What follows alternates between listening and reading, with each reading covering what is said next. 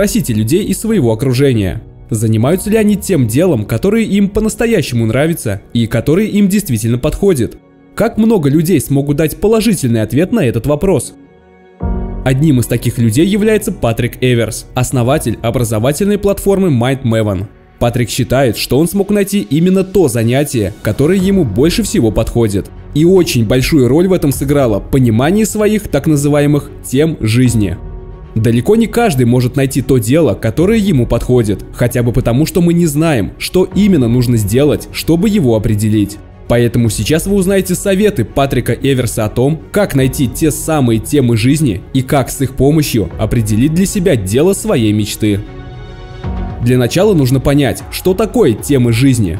Темы жизни – это самые простые вещи, которые описывают вашу личность, описывают вашу жизнь самым очевидным и фундаментальным образом. Но вот главная проблема в том, что чем больше мы заняты своей жизнью, тем сложнее нам становится отфильтровывать и не обращать внимания на весь тот ненужный шум, который присутствует вокруг нас. И для этого есть одно простое, но в то же время очень эффективное упражнение, которое поможет вам найти те самые главные темы жизни. Упражнение включает в себя 6 шагов. Первый шаг. Вам нужно определить, что вы любите, а что вы не любите делать.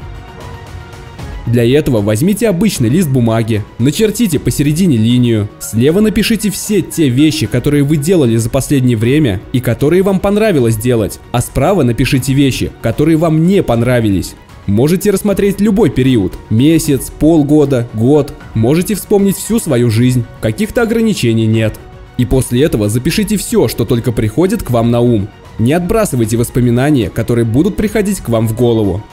Задавая себе подобный вопрос, вы сможете определить для себя некоторые моменты. Записывая ответы с левой стороны, вы сможете понять, какие вещи или какая деятельность дала вам ощущение дополнительной энергии, какая работа давалась вам очень легко и с удовольствием, какие события вызывали у вас приятное волнение, чем вам хотелось поделиться с другими людьми, когда же вы перечислите все те вещи, которые вам не понравились, и запишите их с правой стороны, вы сможете понять, что вы постоянно старались отложить на потом. С какими основными трудностями вам приходилось сталкиваться, чтобы закончить работу? О каких вещах вы старались как можно быстрее забыть после их завершения? От какой работы вы всегда старались отказаться всеми возможными способами? Пишите все, что только приходит к вам на ум. Ничего не отбрасывайте, не размышляйте над записанными вещами и не критикуйте их. Второй шаг. Определите, что у вас получается делать хорошо, а что плохо. Здесь принцип точно такой же, как и в первом шаге. Вы берете листок бумаги, посередине чертите линию, слева пишите вещи, которые у вас получается делать хорошо, справа, которые плохо.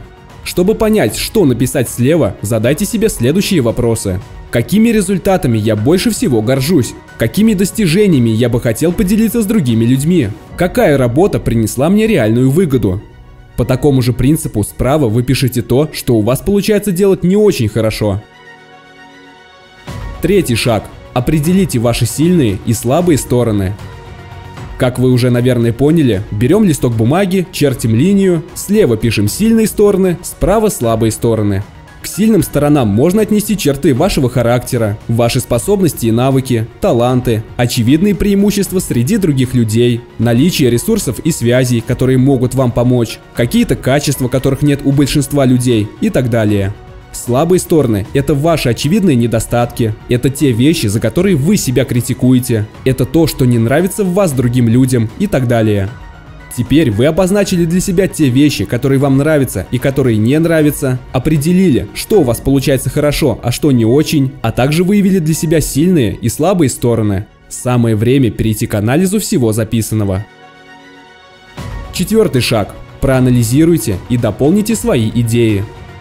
Посмотрите на все, что вы написали. Если к вам пришли какие-то новые идеи, то допишите их. Если вы поняли, что какие-то выводы были поспешными, то вычеркните их из списка.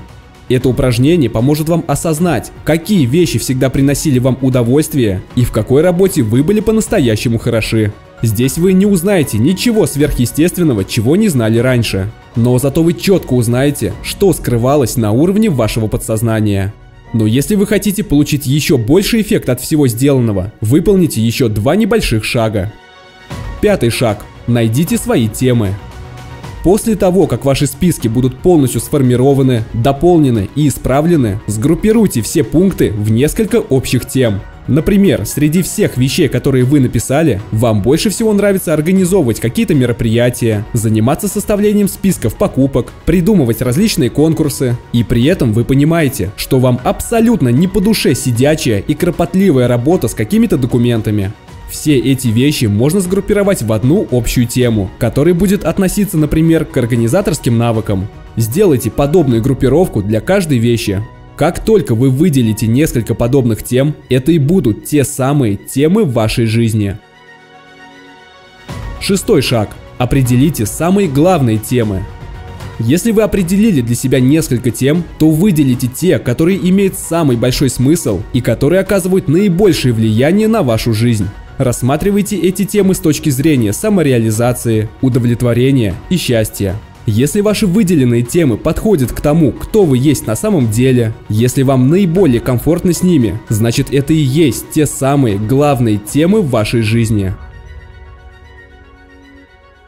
После того, как вы закончите это упражнение, вы получите ясность в том, что именно вам дает энергию, чем вам нравится заниматься больше всего и что делает вас по-настоящему счастливым.